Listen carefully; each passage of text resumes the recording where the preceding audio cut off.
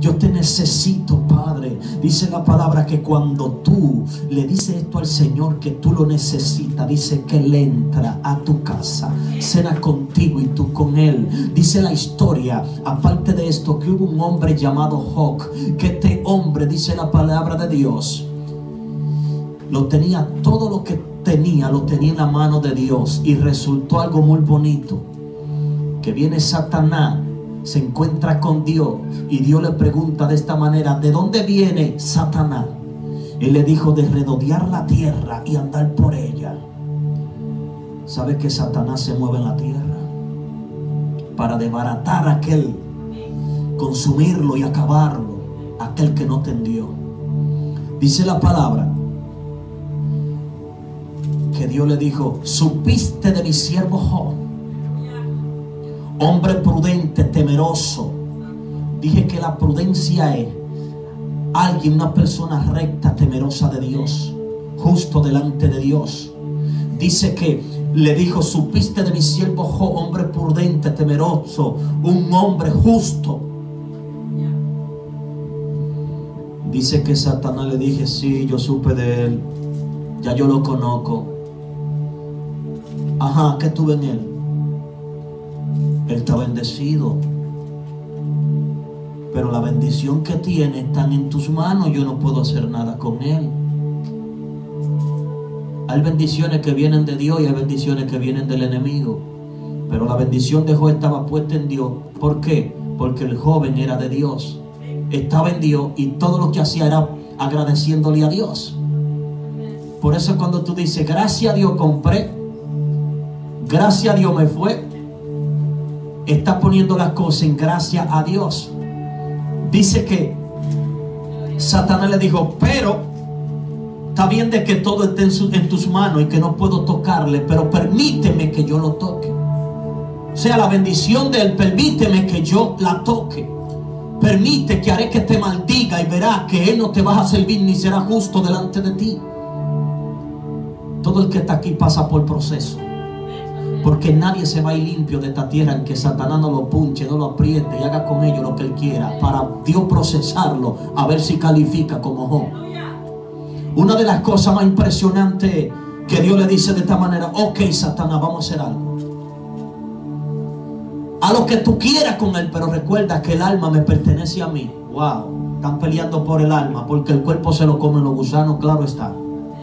Usted ahorita se muere, usted ahorita le da vacaciones a ese cuerpo y sale el alma de ahí. Por eso es que yo vine a hablarle al alma tuya que sea salva y se entregue a Dios. Lo que te está diciendo la palabra es que aquí comienza la conversación y Satanás le dice, está bien. Lo primero que hace, Jo era multimillonario. Si lo ponemos en dólares, era en dólares multimillonario. Job tenía el hombre más próspero en ese entonces era Job. El hombre tenía multitud de fincas de ganados. Tenía un casón, tenía, lo, tenía todo, vivía como un príncipe, un rey que bendecía a la gente necesitada. Dice que lo primero que Satanás hizo fue quitarle los bienes materiales. Dice que le destruyó los ganados, derrumbó los corrales de los ganados Vinieron los trabajadores a darle noticia a Job. Job pasó esto. Él le dijo, gracias Señor. Cuando tú estás pasando por un problema, por más grande que sea, dale gloria a Dios. Porque si Dios puso, Dios quitó. Y si Él tiene que poner de nuevo amén. Algo que a mí me gusta de Job, de la característica de Job fue que Job dice que luego Job tenía unos cuantos hijos. Y dice que estaban todos comiendo. Y vino un recio viento se derrumbó la casa y lo mató a todo. Y a veces el Señor nos quita un muchachito a nosotros y no queremos matar nosotros con tu muchacho. Y a Job, le quitó la familia completa. Lo más importante es que dijo gracias Señor. En un momento así no es fácil decir gracias Señor. En un momento así que te maten los hijos, no no es fácil decir gracias Señor. No es fácil decir en un momento duro que tú hayas pasado en la vida, decirle gracias Señor. Pero el Señor te dice, el agradecimiento tuyo es que yo veo. Una de las cosas más impresionantes es que dice la historia que Ahó luego, al ver que el Satanás no encontraba cómo hacer con los hechos que ocurría Satanás destruyéndole todo, no podía ver que de salir una maldición a Dios. Satanás está coleando como el león rugiente, desbaratándole todo. Aquí hay gente que quizá en su vida Satanás se le ha metido y le ha puesto los hijos en contra. Todo en contra. Que el trabajo, que esto, que lo otro, que en casa, que la esposa, que aquello, que lo otro. ¿Por qué? Y Satanás trabajando a ver si tú maldices a Dios y te aparta de Dios y te aleja. Lo que te está diciendo de esta manera es que Dios está viéndolo todo. Dios está desde el cielo observando a Satanás todo lo que le está haciendo y está viendo la boca de Dios para, la, boca de Job para ver si Job maldice a Jehová que lo está viendo, pero Dios también está viendo a Satanás destruyéndole todo por paso. ¿Sabe a quién usa Satanás? Dice que usó la mujer, la boca de la mujer, porque a Job le cayó una lepra que le estaba pudriendo el cuerpo por pedazo. El que tiene lepra en ese entonces era inmundo. Y el que era inmundo porque le salía un pudrefacto que nadie podía estar cerca. Hijo le cayó una lepra terrible. Escúchame bien, le debarata todo, le mata a los hijos. Ahora lo último le pone una lepra para que se muera. Porque recuerda que hubo una palabra donde Dios le dijo, recuerda que el alma me pertenece a mí, puede hacerlo todo. El hombre está pasando por un proceso terrible. Está prudentemente, su casa está en la roca. Ay, su fundamento y su, su fundamento y confianza está puesta en Dios. Pero este hombre no se detiene, sigue firme, aunque le duele el cuerpo, aunque esté enfermo, aunque le han quitado todo. Encima de eso dice la palabra que esta mujer le dice a su esposo, como quien dice, ya yo no aguanto más, ya tú volviste a la miseria, ya tú eres pobre, ya tú no eres nadie, ya tú no tienes nada, no mataron los hijos, ¿qué vas a hacer? Maldice a tu Dios. Le dice de esta manera de esta mujer, cállate mujer, le dice Job. Cuando le dice cállate, le está diciendo enseñar. Si Dios quitó, si Dios puso, Dios quitó. Lo que le está diciendo es aleluya. El Señor tiene el poder para hacer y deshacer. Esta mujer quería que maldijera a, a Dios. Satanás usó su boca a causa de tantas preocupaciones. ¿Cuánto le han dicho a Dios? Ya tú no me escuchas, ya tú no me oyes. Tú no quieres saber de mí.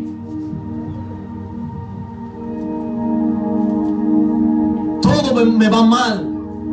Oro, ayuno, agua y desagüe y nada. Todo va de mal en peor. Y el Señor observando tu boca. El Señor observando tu boca. A veces el Señor nos pasa por procesos tan terribles para saber dónde nos vas a llevar. Yo estoy aquí por un proceso de Dios que pude cumplir y pude vencer. Pues lo que yo he pasado no es para contar nada aquí. Dios me libró de la muerte. Esos ladrillos son pocos. Una pared más grande de ahí me cayó en la, espalda. Y allí a ese edificio de tres plantas le pusieron el sobreviviente fulano de tal. Un ángel vi la sala que la abrió y solo me cayeron escombros. Es, es increíble que una pared de una tercera me carga planchada y solo me cargan escombro donde yo estaba. Es increíble que habiendo nada que me cubriera, la pared baje y solo me cargan escombro. Cuando bajó encima de mí me aplastó en medio de la pared. Yo no sufro de la columna, yo no sufro de la cabeza, yo no tengo problema. Solo tengo huellas de heridas aquí, aquí y aquí. Los que no eran cristianos, el jefe de la construcción y todo, me levantaron de los escombros, me sacaron. Y le dijeron, pregúntale por mí a ver si me conoce, porque seguro perdió el conocimiento. Todos se maravillaron. Yo le dije, yo estoy bien, yo me levanté, me sacudí los escombros. Y cuando me sacudo los escombros, me llevan, está cortado, me llevan al hospital. Quedé por un tiempo paralítico. Porque aquí en esta parte quedó una rotura. Yo no era cristiano en ese entonces. Recuerdo que estando ahí pasando ese proceso, El padrino me llevó al médico para hacerme sonografía y salí con una rotura que no tiene cura. En la parte de aquí de la narga hay un hueso. Y ahí salió estillado el hueso que no permitía que yo afincara ese pie. De aquí para allá yo no podía hacer nada ni mover mucho esta parte. Yo caminaba y era así, fuerte porque se afincaba, tiraba un grito del dolor tan fuerte porque el hueso, al hacerle fuerza el pie al hueso, se chocaba estillado y no podía hacer nada del dolor tan fuerte. Me daban medicamento y nada, nada y nada. El dolor era muy fuerte, se estillaba y se chocaba. Y yo decía, no verdad que yo voy a quedar así. Yo no era cristiano, yo no quería saber de los evangélicos bocones. Yo odiaba a esta gente, yo aborrecía a esta gente. Yo iba a ser sacerdote en un tiempo y me enseñaron que ellos no creen en la Virgen fulana de tal. Y yo les cogí odio a ellos. Oiga esto, yo tenía un odio sobre ellos. Mi hermano iba a ser sacerdote. Mi papá era presidente de asamblea con su iglesia católica. Nosotros todos nos criamos en la iglesia católica. Caso es de que luego el Señor nos cambió a la iglesia evangélica a la cual yo no quería creer. ¿Sabe qué sucedió? Sucedió lo siguiente. Es que cuando me llevan al médico la sonografía sale este problema, pero el doctor dice, mala noticia señora. ¿Cuál es? Él no tiene cura sobre eso. Ahí no podemos poner yeso. ¿Cómo le ponemos poner un yeso a la nalga? Imagínese usted, no podemos. Lléveselo con tratamiento a ver si un milagro de Dios lo sana. Me entraron unas depresiones como a todos nosotros cuando estamos en un problema. Resultó lo siguiente, que estando postrado en cama, dándome comida en cama porque no podía hacer nada, Sucede que, estando ahí en cama, le gritaba a Dios fuertemente, Dios mío, un milagro, tú eres un Dios todopoderoso, que la Biblia me dice que sanaste a fulana de tal, fulanito, prensejo, pero sáname a mí ahora, un hecho de eso viejo, algo aquí ahora presente. Yo comencé a clamarle a Dios fuertemente. Y como duda que nos pasa todo, puse un cuchillo debajo de la almohada por si no me contestaba arrancar con mi vida.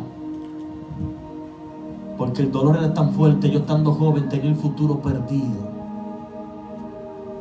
Resulta que estando ahí postrado en cama, le decía, tengo dos decisiones, o me mato o me sana. Y mandé a un niñito, un sobrinito, búscame un cuchillo, el algote que corta mucho, búscalo. ¿Para qué, tío? Cállese, vaya, búscalo. Lo puse abajo de la cama con esa decisión. Diga conmigo, Dios nunca llega tarde. Llegaron los evangélicos Boconi ahí a orar por mí. Yo me, me metí un odio tan, tan recio que no lo quería. Decía, mami, saque esa gente de aquí. Mi hijo, estate tranquilo, van a orar por ti. Mami, yo no quiero saber de esa gente. Ya cállate, te dije que tú lo que necesitas es un milagro. El caso es de que esa noche oran por mí fueron tan amables, tan humildes. Pero entre mí quería comérmelo vivo con el cuchillo. Y fíjese que se me fue el deseo del cuchillo, se me fue todo. El Señor le profetizó tantas cosas bonitas a mi vida que pude entender de que Dios me amaba. Yo lloré bastante. Luego me invitaron a la iglesia con tu dolor. Y recuerdo que no quería ir, me quedé en la casa. Y el Señor me reveló de esta manera y me dijo, bebe calcio, hijo, calcio, calcio. Yo mandé rápidamente a comprar tres funditas de calcio. El primer día me bebí una, la segunda otra. Yo dije, los huesos se me van a podrir con tanto calcio. Y comencé a comprar calcio. Ya la semana yo andaba caminando normalmente, trabajando y haciéndolo todo. Luego como agradecimiento fui a la casa de Dios. Y allí el Señor me tocó me sacó, escúcheme bien, todas las lágrimas que el Señor quería sacarme. Y me arrepentí ese día, ya tengo 14 años en el Evangelio, dándole gloria a Dios como pastor, sirviéndole a mi Cristo. Y hoy en día el Señor me ha llevado a distintos lugares a predicar la palabra de Dios. Estoy muy agradecido de su milagro. Cada uno de nosotros tenemos un testimonio por el cual que contar. Pero en este momento yo quiero decirle a usted que usted puede formar parte de un milagro en esta noche. Usted puede formar parte de lo que el Señor puede hacer con usted en esta noche. Y yo quiero que en esta noche, gloria a Dios, todos los que no son cristianos, yo quiero que por favor levanten la mano, sean tan amables, levanten la mano. Amén. Tú no eres cristiana, tú no eres cristiano, usted no es cristiana, usted no es cristiano, usted tampoco. Aleluya. Gloria a Dios. Ahora quiero hacerle una pregunta. ¿Cuánto quisieran aceptar a Cristo como su Salvador en esta noche? Los que levantaron la mano, si son tan amables, pueden levantar la mano de nuevo. Aleluya. ¿Cuáles fueron los que no son cristianos? ¿Quieren aceptar a Cristo en esta noche, eh, en esta tarde? Amén. ¿Quieren aceptar a Cristo? Desde ahí mismo, sin yo tocarle, haga esta oración conmigo. Cierre sus ojos en esta noche. En esta tarde, perdón, que predico tanto de noche. Gloria a Dios. Repita conmigo, Señor Jesús.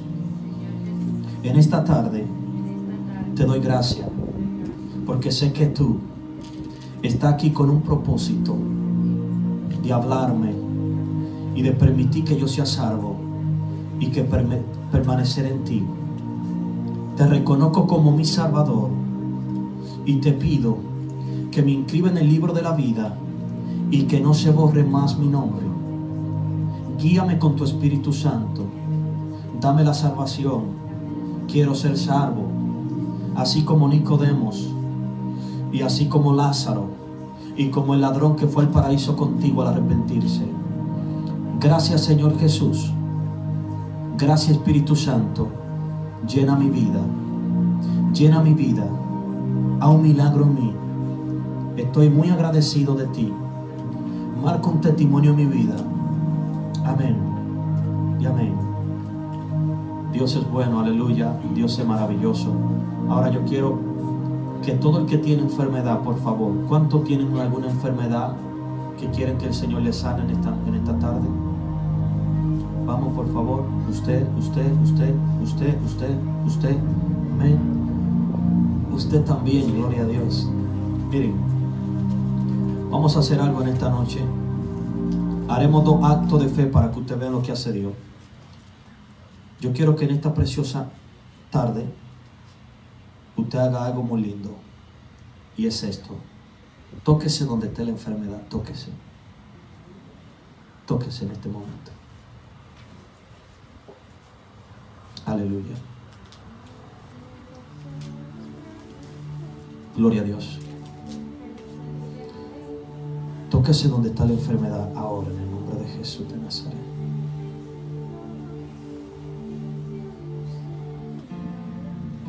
Tóquese donde está ese problema ahora. Donde está ese problema ahora mismo. Tóquese, vamos, tóquese. Padre, te doy gracias en esta preciosa tarde. Mira, Dios mío, donde estamos en Virginia. Te pido que en este momento, Espíritu Santo de Dios,